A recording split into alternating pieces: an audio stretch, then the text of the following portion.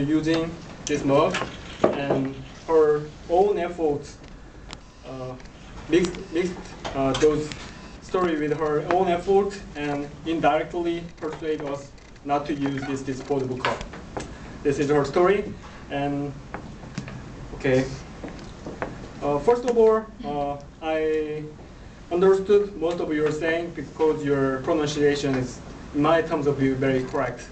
And also, okay, and I'm gonna talk about your shortage first of all. Uh, you don't like to. Uh, I think in your every every speaker has their own uh, speech style, but I think your in your body gesture you have the you can have the power to improve yourself. Uh, your hand gesture is like this one. Uh, I think you don't need to uh, this gesture style. You don't need to confine yourself in this tutorial.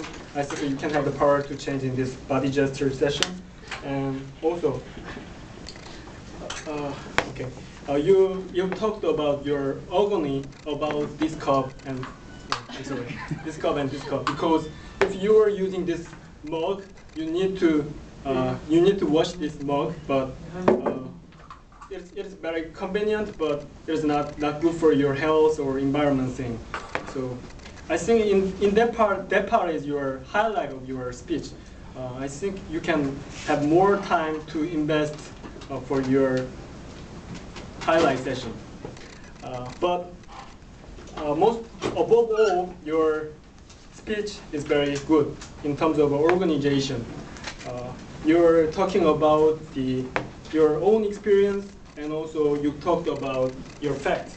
Uh, you talked about, in the, in the fact, you talked about environmental hormone and our health stuff, and also environmental view and economical view, many, many stuff, and also your own experience in your office life and also outdoor life, and so on.